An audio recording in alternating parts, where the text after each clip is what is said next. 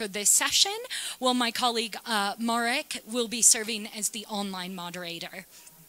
We've planned a significant block of time for audience questions and participation in today's session, so please do feel free to use the online chat and raise hands virtually and in the room, of course, and we'll work to get to as many people as possible. Uh, Nigel Hickson and Jennifer Chung will be speaking with us today about the topic of this lightning talk, which is the WSIS plus 20 review process. And uh, first Nigel and then Jennifer, would you please be able to introduce yourselves? Oh yeah, sorry, yes. Oh, the microphone. microphone. No,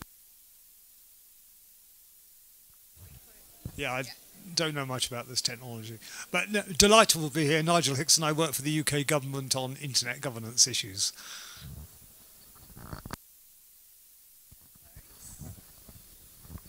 Hi everyone, my name is Jennifer Chung. I am the uh, Director of Corporate Knowledge for .Asia organization, and I guess in this context, uh, we are the Secretariat for the Asia Pacific Regional IGF.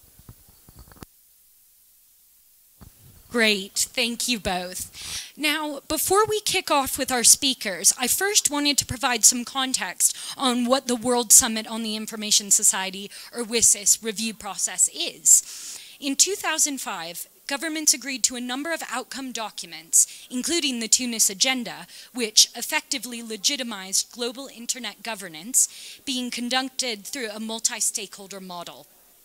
In December 2015,